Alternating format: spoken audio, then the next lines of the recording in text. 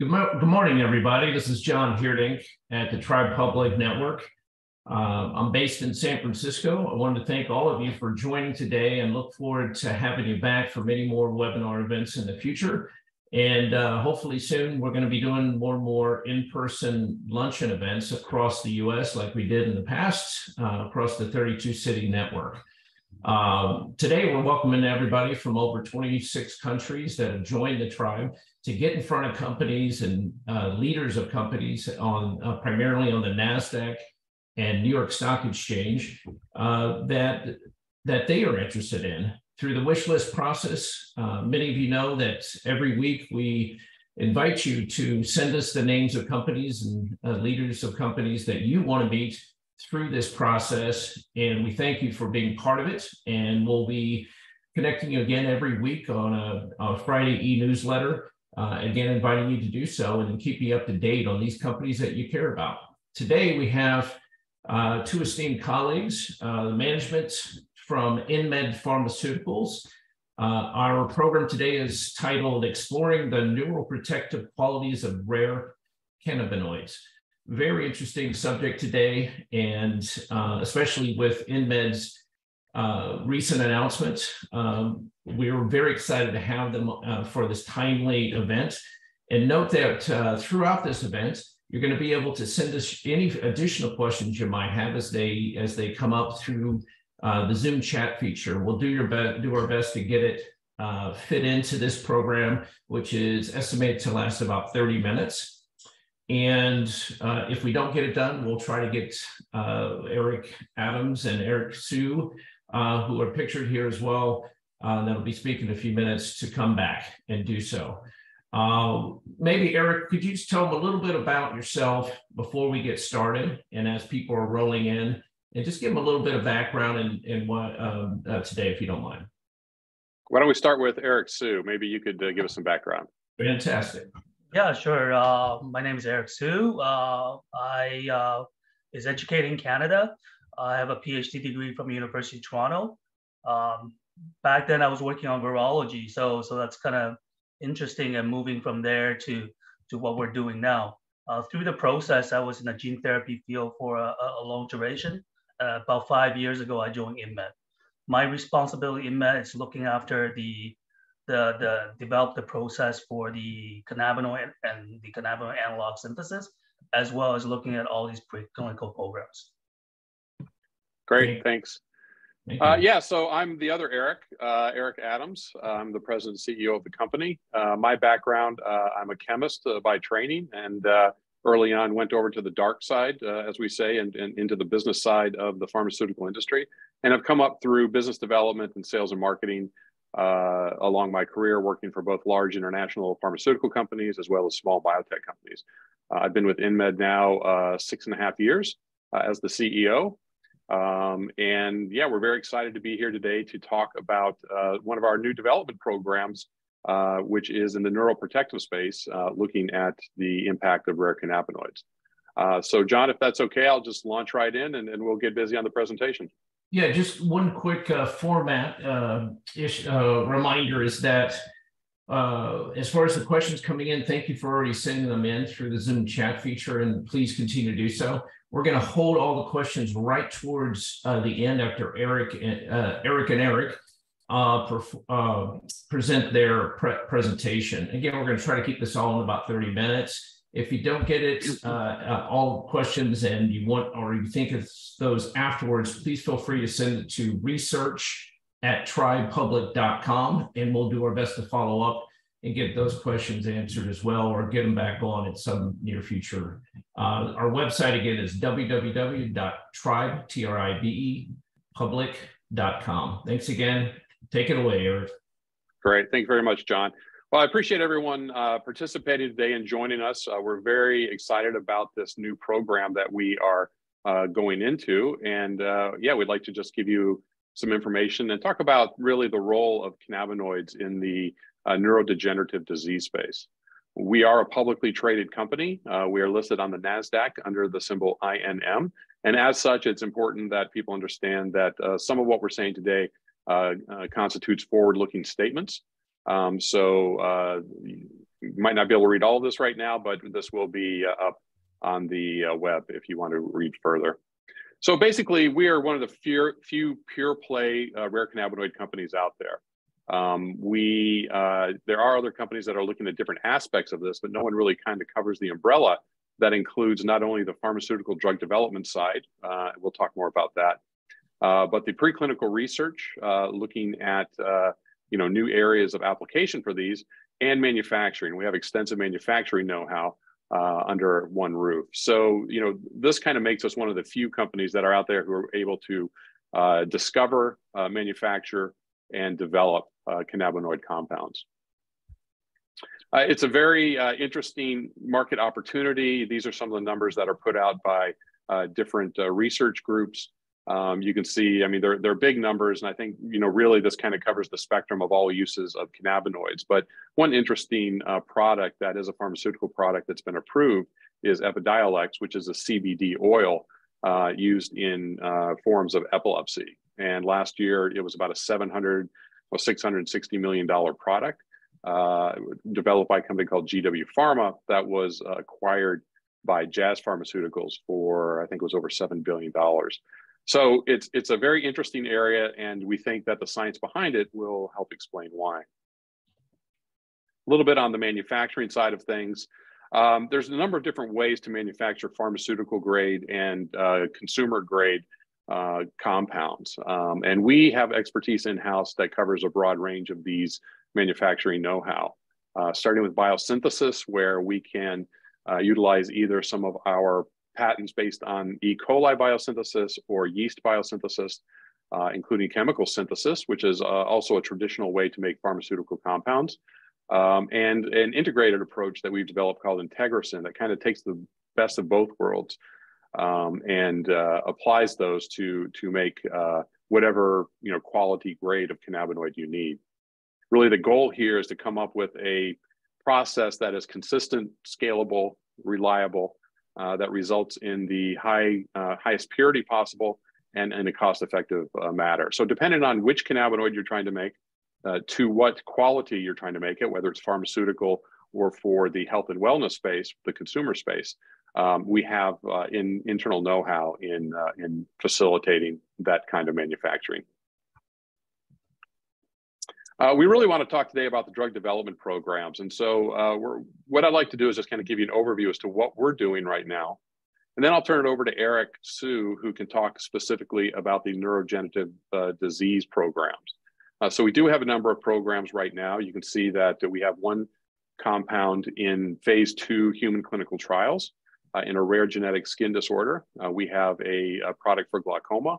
And then a bit earlier on, we have these uh, neurodegenerative disease uh, and chemical, uh, new chemical entities uh, that are based on cannabinoids. So we want to just touch briefly on, on these, and then Eric can go into a little bit more detail.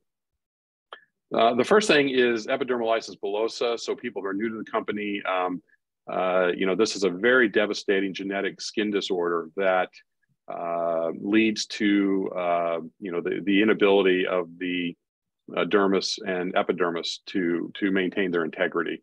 Uh, so it's very easy to cause wounds or to blister in these patients. Uh, this is a genetic condition, so it is a lifelong um, ailment. and there's currently no real approved therapies directed specifically at this at this disease. Um, what we're trying to do with uh, our selected cannabinoid, which is uh, cannabinol or CBN, is to address some of the uh, important symptoms uh, associated with disease. So we're not trying to, you know, reprogram the genes, which is what you would need to do to basically eradicate the disease. Uh, but it, on a day-to-day basis, there's a lot of important uh, symptoms that need to be managed with currently several products, and these include things like wound management and wound healing uh, pain, uh, itch, which is a very bad uh, symptom in, in, this patient population, as well as uh, chronic inflammation. And so, what we're doing is looking at our uh, CBN cream in a cohort of patients uh, who suffer from this disease. enrollment is ongoing. We anticipate finishing enrollment and treatment by the end of this year. Um, and with the data readout sometime in the mid to late first quarter of next year. Um, so it's it's uh, hopefully going to show some benefit uh, a meaningful benefit in, in, this patient population who really, you know, is is uh, desperate to have uh, new treatments uh, to help manage the disease. We also have a program based on the same cannabinoid, uh, cannabinol or CBN, in glaucoma. And you know, there's a lot of products out there that can reduce the intraocular pressure, which is associated with this disease. but there's really kind of two components to this. One is the inter intraocular pressure, and that causes then uh, neural damage uh, and leads to blindness. So at the back of the eye, you have these neurons that uh, are responsible for vision. The pressure from, from glaucoma can damage those permanently. And what we've seen in our early studies is that um, not only can we reduce intraocular pressure, but independent of that, there's another effect that cannabinoids have, and that is they can go to these neural cells and uh, proactively prevent them from cell death. Uh, so it's a it's an independent effect uh, and something that we have patented and we think is a very important approach. Uh, and so we're still in preclinical there, uh, ramping up towards phase one uh, over the next 12 to 18 months. So that's a, a, very interesting application of cannabinoids. and it's really kind of that research that's led us to look at other neurodegenerative diseases. So why don't I turn it over to Eric and he can talk about neuroprotection and neurodegenerative diseases. Thanks, Eric. So, so as Eric said, you know, in the glaucoma space, we know there's already a lot of uh, medication out there that can reduces the intraocular pressure. Um, however, the patients in this space, even though they're staying on the IOP reduction drugs, their dis- disease still progresses and eventually lead to blindness. So therefore, what we were looking at when we tried to target and work through the problem associated with this disease is really looking at ways to protect the neuron cells in the back of the eyes. Uh, we set up an assay and screened several cannabinoids. We were able to identify CBN as the cannabinoid that can actively protect those neuron cells in the back of the eyes. So with our neurodegenerative diseases, we're taking the same approach as well. So not instead of looking at the insult, which are, are the toxin that's actually uh, causing the disease, we're focusing on how to protect the neurons. Next slide. So we talk about the unmet needs in the neurodegenerative diseases. The other, the other um, problem with this space is really there's not a lot of uh, good treatment for uh, neurodegenerative diseases, um, such as Alzheimer and Parkinson. Uh, traditionally, if you are diagnosed, you put on medications that are addressing the neurotransmitters, the level of neurotransmitters. So inhibitors were used to um, to prevent degradation of these uh, neurotransmitters. However, as the neurons are dying, you're not producing more neurotransmitters. So it's not really addressing the need uh, to stop the disease progression. Uh, in the recent years, uh, pharma companies are working on antibodies, so monoclonal antibody that specifically target the factor or the toxins that causes the disease to progress. Um, but this approach um, has met with not a very good success up to this point, uh, even though there is a recent approval of, of a monoclonal antibody to treat Alzheimer uh, by Biogen last year. So we can talk a little bit about that later in the Q&A. Um, our solution is a little bit different. We use cannabinoid or cannabinoid analog to, to address uh, these issues. Uh, one issue with the monoclonal antibody is it's a large molecule, so it's very hard to distribute through the blood-brain barrier to get to the brain. So, but that's not a problem with cannabinoid. It, cannabinoid is, is, a class of compound that's known to cross that barrier very easily. Um, and as, as, I mentioned before, instead of focusing on the factor that's that's causing the disease, we focus on protecting those cells. Um, so we screen cannabinoid and analogs that are able to show neuroprotective effects for these affected neurons. And the other thing we found was that the, the, the, the, the cannabinoid we selected actually had the ability to promote or increase neurite growth and, and potentially enhance the neuronal functions. Next slide. So this space, you know, it's it, it, has a lot of potential. The market size is, is enormous. You can see from the slide that by 2030, just two diseases alone between Alzheimer's and Parkinson, you're looking at 20 billions uh, and up. And there are a lot of big pharma that are very active in this space. There's a there have various uh, products or potential products that are in the trial right now. So it, it is a is a space that's still growing. Next slide. So what, why cannabinoid? Why are we so interested in using cannabinoid to treat or analog to treat these type of diseases? Um, you know, one thing is I, what I mentioned before, it, that this class of compound can penetrate blood-brain barrier very easily. Uh, and the other thing is that there are a lot of receptors throughout our body, especially in the brain, that interact with these class of compounds. And, and through these interaction, it can actually produce different effects, which can modulate the disease progression. So one of the things that we, we are going to address in our uh, disease model is looking at inflammation. Uh, we know that inflammation plays an important part of a disease progression such as uh, in Alzheimer's. Therefore, we want to also, in a disease model, we want to look at how our cannabinoid analog can actually modulate those inflammations. So next slide. So this is one of the reasons we're very excited about what we're observing for our cannabinoid analog to treat disease such as Alzheimer's. Uh, on the left-hand side, you can see these are differentiated neural cells in culture. So when we expose them to the analogs that we have, which is in the middle part of the panel, what you notice is that there's these extension of these, these neurons, kind of like arm, leg, kind of like extend out your arm. And these neurons need these extension to be functioning properly. So on the right panel is actually a, a higher magnification of, of these uh, uh extended neurites. And what you see, what you notice is that they're actually these finger-like structure, like a branching structure. And this, these branching structures are actually needed for the neurons to communicate with each other. So what we think is that not only these analog can protect the neurons through neuron protection effect, but also it has the ability to potentially restore the function of these neurons. So we're very excited about this. These are our ongoing study uh, we have selected two different, uh, our top analogs are moving forward to our, our study in the, in the disease model. And we're continuing to do these uh, collaboration with University of British Columbia. Next slide.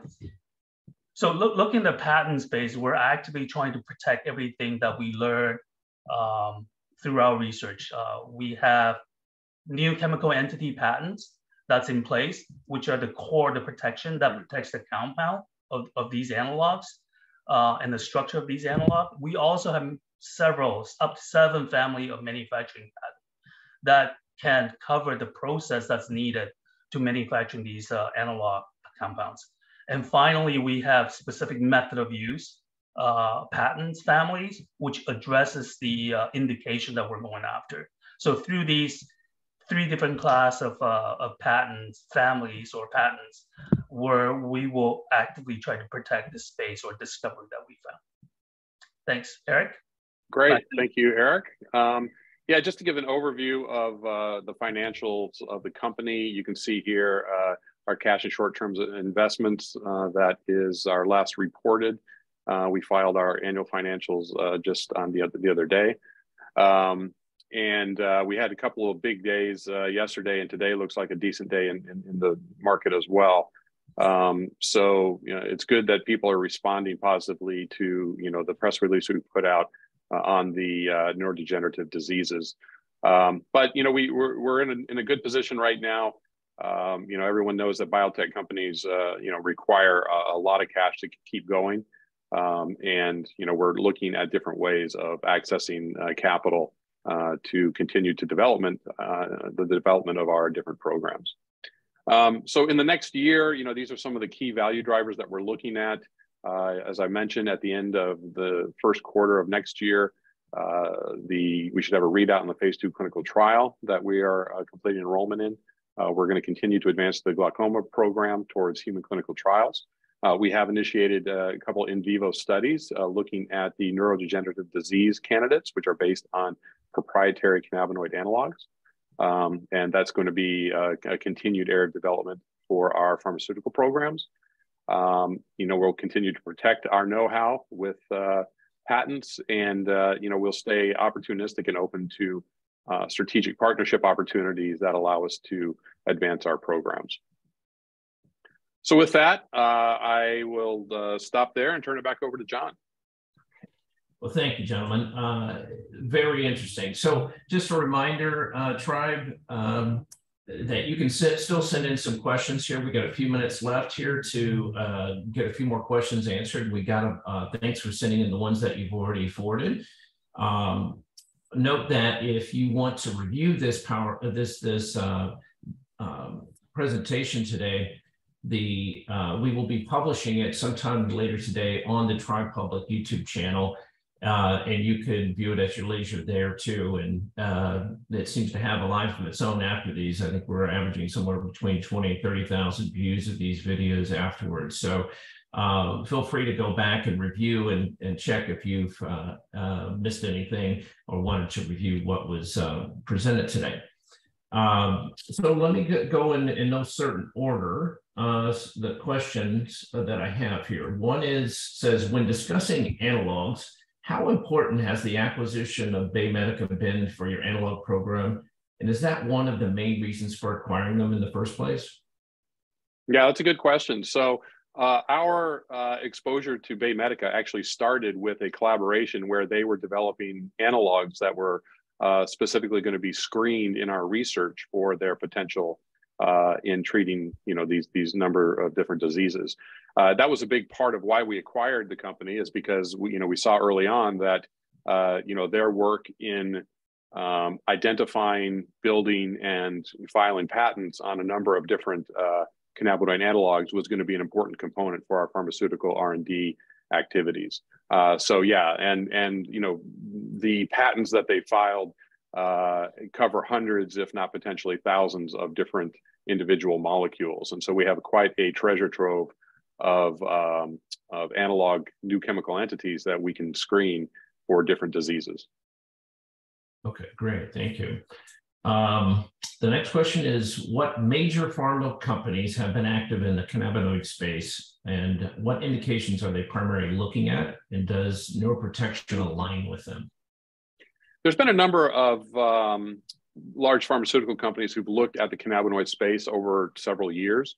There are a couple of products uh, in the market, one, uh, a couple of THC based products that are used for different types of pain. Uh, and of course, as I mentioned, uh, Jazz Pharmaceuticals has the CBD oil for epilepsy. Those are, to my knowledge, the only ones that are marketed currently. Um, there are other development programs where you know a cannabinoid may be uh, a part of the portfolio for different companies and in their different um, research. Uh, but no one's really specializing in it the way that we are. Um, you know, there's companies like Zynerba who have a CBD uh, skin patch, um, and they're looking also at um, epilepsy uh, type type diseases. Um, but you know, we're the only ones who are kind of inventing new molecules, uh, uh, have the capacity to, to manufacture them, and uh, you know, develop them as pharmaceutical compounds. Thank you. And and uh, related to the the press release that you um, put out this uh, title, InMed Pharmaceutical Advances Neurodegenerative Disease Program with Natural Sciences and Engineering Research Council Canada, NSERC, Alliance Grant Funding. Can, can you speak a little bit more about the uh, this grant funding, how that works? Is there you know, to what scope? Where does this take us? How do we, mm-hmm. how do we see this um, developing and, and, and, creating value for shareholders here? Yeah, I mean, I'll just briefly uh, touch on that. NSERC is a government funding agency, similar, not identical to the NIH in the US, uh, where they support early research. Uh, and it's a it's a grant that actually helps us fund our research activities uh, in collaboration with the University of British Columbia. So we do a lot of our uh, research uh, there um, in, in, a, in a specific lab. And so that just helps fund the program. Um, but we retain all of the commercial rights uh, to the technologies or, or, the findings that come out of that. it's just a, a, funding mechanism, you know, for for early stage companies. And, and is there any function where you know, based on initial research that you can justify further grant funding? How, how is there any way to, to look at it or, you know, how would one think about the, the program? And is there sort of a timeline on that, research and that collaborative research? Yeah, Eric? Yeah, so so right now through this grant, uh, we're looking at exploring these analogs in a disease model. But on top of that, you know, one not only when we're looking at how the how the molecule is working in treating disease, we need to understand what the mechanism of action for these molecules, what pathway it's been, it, it, how it's functioned through different pathways. So that's part of what this grant's about. It's studying how the molecules interacting with the endocrine, uh, endocrine system in the uh, endocannabinoid system that's that's naturally found in, in the body. So so it would address two things. One is the the ther- therapeutic side, but also the mechanism of action side for these molecules. Got it. Thank you. Uh, it's pretty exciting and it's and uh, it's validating. You know, uh, it seems to be validating uh, the the direction you're taking the company, and it's very exciting. And um, uh, I think a lot of shareholders are excited about where you might take this. many of us know uh, too many people that are stricken by Alzheimer's, Huntington's, and Parkinson's. Very sad. It's way too close to home uh, for you truly. And, um, you know, I wish that you have complete success in advancing uh, your research here. Uh, the next, switching gears a bit, the, the, the next question I have here is in regards to your phase two clinical trial in EB, the study should be concluding shortly and re- readout expected in early 2023. Uh, what are the plans for this program going forward? Um, good question. So, you know, the plans to advance any drug development program rests with the strength of the data. Uh, and so we don't have any indication of that yet. It's a blinded trial. Um, so the patient, the physician, and the company don't know which treatment site is getting active drug and which treatment site is getting a placebo. Um, so, you know, we will have that data. We'll have the readout at the end of the first quarter, mid to end of first quarter. Um, and we'll just have to see, uh, you know, if the data is strong enough, uh, you know, it may be able to attract uh, some collaborations um, uh, with, with larger companies. Uh, that's always attractive because they certainly have the deeper pockets to continue the research into the more expensive phase three trials. Um, but again, you know, it, it, it, completely lies on the strength of the data and kind of what the next steps are going to be. Um, I think in particular, we'd be interested in a collaboration uh, just because we have a lot of things in the hopper right now, a lot of development programs. Uh, and we'd like to see, you know, all of them uh, be successful. And that one being the most advanced, it may be the most logical candidate for a some some type of partnership. Got it. Thank you. Um, you know, the the uh, there's a follow-up question in regards to glaucoma. Can, can, you review the where you are with that again and just go into uh, sort of the market? What what is out there today for glaucoma patients? What how do we see that we can? Can you describe that a little bit more? A lot of us know um, some of the products that are out there, but I think in the in general, uh, I think the the tribe would like to understand a little bit more about that. Uh, sure, I'll, I'll take the market side of things. So there's several uh, different class of compounds that are used to decrease the intraocular pressure. Uh, the pressure is caused by the buildup of fluid in the front of the eye. Um, and so the drugs that are out there and available today focus on either uh, enabling or increasing the drainage of that fluid or trying to slow down the production of that fluid. Uh, and that's how you decrease the intraocular pressure. Uh, cannabinoids uh, fall squarely into, into that realm uh, in terms of uh, facilitating drainage. Um, and, you know, CBN is not the only one. There's other ones, uh, cannabinoids that will work as well. Um, not all of them, but, but there are a few. where we really see the advantage is in this neuroprotective approach. So independent of whether you drain or, or, or decrease the intraocular pressure, if we can help protect the neurons at the back of the eye, then in theory, we should be able to extend the life of those neurons, uh, thereby extending the period that people maintain their vision, uh, or or you know slow the decline of their vision over time. Uh, that's to us really the interesting area uh, and, and, the interesting opportunity in glaucoma. I should point out that we're uh, you know investigating other opportunities in the ocular disease space uh, with some of our analogs. Uh, so we think that this effect may be important across a number of different diseases. But again, it's it's early days, um, and you know the data is going to help drive where we go with uh, with our um, drug development decisions. Eric, is there anything I left off of that? Yeah. So in terms of development, we have done uh, formulation development, having a right formulation in eye drops uh, to deliver the, the product or API in this case uh, to the to the back of the eye. That's already done. We have scaled that up, and right now we're waiting to conduct our pivotal tox study.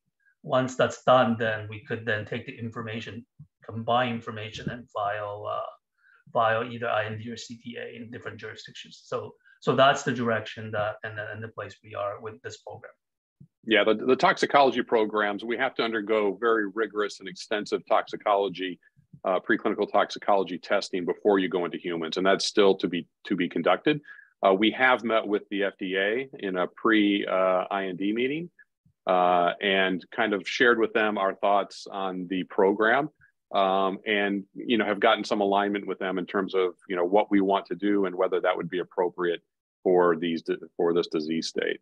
Uh, so that that's important as well. That you know we've had that interaction and we we have uh, what we think is a solid plan uh, for development of the compound. Okay, uh, switching back to um, Alzheimer's and Parkinson's, uh, as we all know, there's been a, a, significant amount of capital across many different corporations that have been out there in the fight in the research uh, to find, you know, anything that would help. Uh, can you can you hammer home why uh, why you believe your approach might have successful outcomes in the future, and um, uh, based on what you know today? Yeah. So you know, you know, first of all, we hope everyone is successful. I mean, this is such a devastating area of medicine. Uh, you know, we only hope for the best, and that and that a lot of these therapies can come through. What we can say and what we know is that you know the the investigations to date have centered around a couple specific mechanisms mechanisms of action, uh, which is to reduce beta amyloid plaques uh, and uh, tau proteins, and the results have been mixed. Um, you there have been demonstrations of being able to remove those plaques or reduce uh, their production, but that has not translated necessarily into an increase in cognitive abilities. Um, so you know, it's one thing to to kind of you know block that pathway, but if it ends up not meaning anything for the disease or for the patient, then you know what have you really accomplished? So what we're doing is taking a completely different approach uh, to these diseases, looking at you know the inflammatory effects on the neural pathways, looking at uh, the you know potential for you know regrowth or growth of the of the neurons themselves. Um, and we think that this new mechanism of action, this new approach, may be something that brings uh, clear benefit to the patients. But again, you know, we're a long way from showing that. Uh, but that's kind of the thesis that we're working on. So it's it's a whole new different mechanism of action and and, and pathway, disease pathway that we're uh, looking at. That's exciting. Having a novel pro- approach, I think, is required here, and I'm excited that you guys are you're on it, and it's it's part of your mission now. So um, good luck with that. Um, one question that to circle back, I guess, is uh, the, the in regards to glaucoma. Uh, one of one of the tribe members has actually been uh, treating uh, with dry eye drops for about 20 years. He stated, and um, he's saying, "Will do you believe your solution will require applying drops? And if so, how is it? How will this potentially be better in combination or separately? How how are you currently thinking?"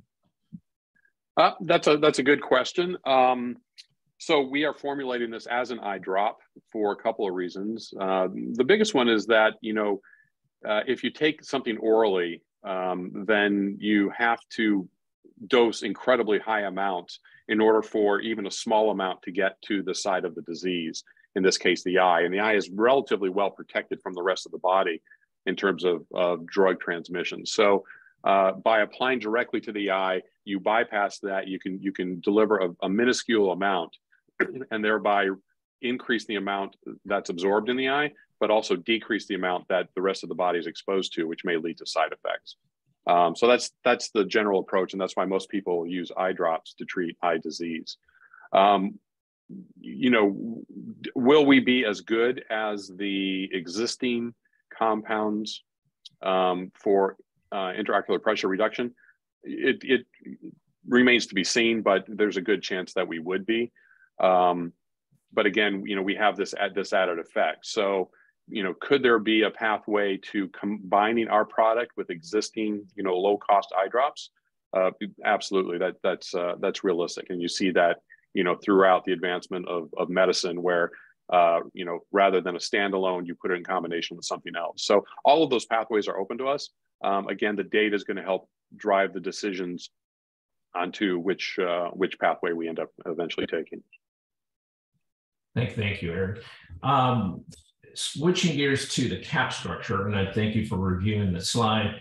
Uh, we have, if I remember right, and correct me if I'm wrong, it's somewhere around in the million million range of shares outstanding, and which would uh, classify you in what many have popularly called a low float stock today which we've seen a lot of um, trading go on, and and and uh, InMed stock uh, symbol INM um, had traded over 28 million shares yesterday upon your uh, release, and it's been trading up recently after hitting a low. And uh, th- there's a lot of folks seem to be very excited about what's going on uh, with this direction of your company. So I commend you on that. Um, do you do you see? Uh, can you one confirm exactly what what is outstanding again? And um, do you have any other thoughts about uh, you know in, uh, a direction going forward, or wh- why why do you think uh, this is traded in this manner? Um, good questions. I think you, you probably are better to speak to why it's traded in this manner than I am. Um, but on a uh, in terms of the outstanding, we're at about 1.5 million if you take into consideration the issued common shares and what we call pre-funded warrants that were part of uh, recent financings. So if you count those together, uh, exclude other common warrants and options, uh, then we're at about 1.5 million thereabouts. Um, yeah, I mean, everyone always wants to know why the stock goes up. Um, but um, my bigger question is why are we so far down? you know, on a on a consolidated basis, uh, if, if you look at you know the the post consolidation numbers uh, when when the consolidation earlier in the year, you know, our 52 week high is you know towards sixty dollars, and we're trading at four dollars. So I'm not surprised that we jumped from you know whatever it was three to four dollars yesterday. I'm shocked why we're still a four dollar stock. So, um, yeah, you know, and there's so many macroeconomic issues that are influencing the stock market right now.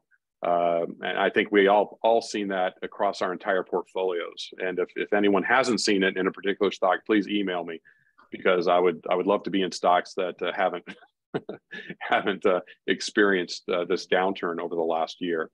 So um, again, I, I'm not you know I try not to be surprised uh, on the upside or the downside.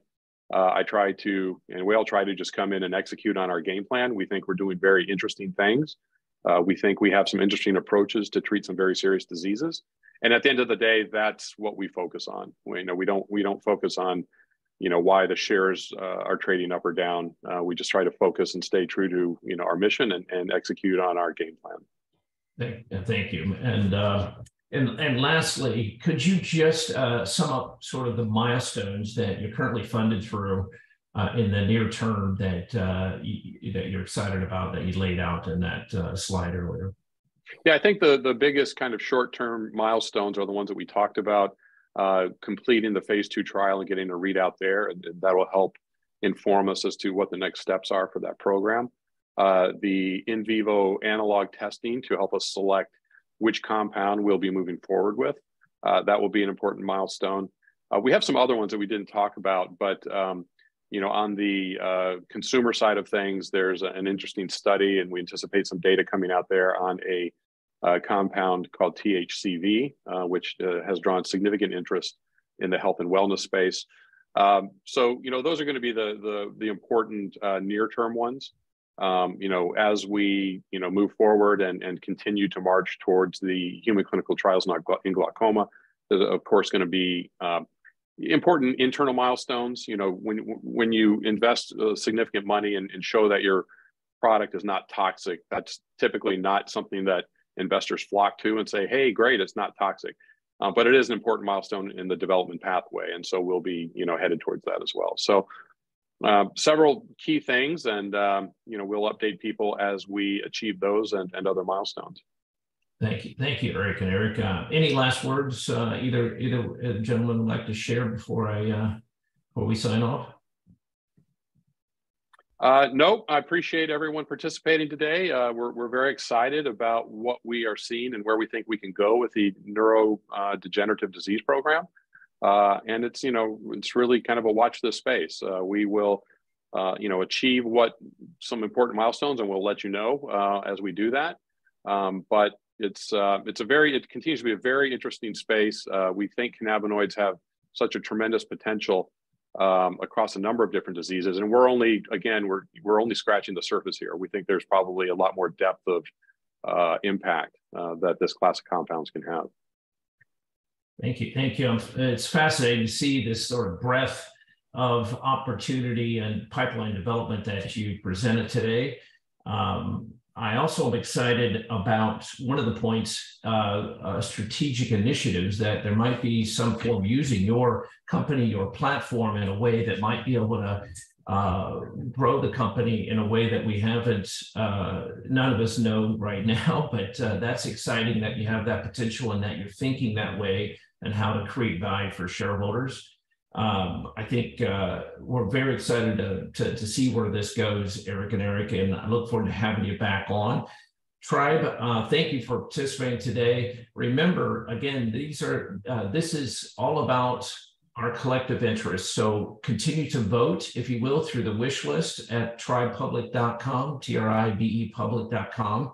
Note uh, video of this presentation will be up that you can share with your friends and or go back and view yourself at, at the at the at YouTube.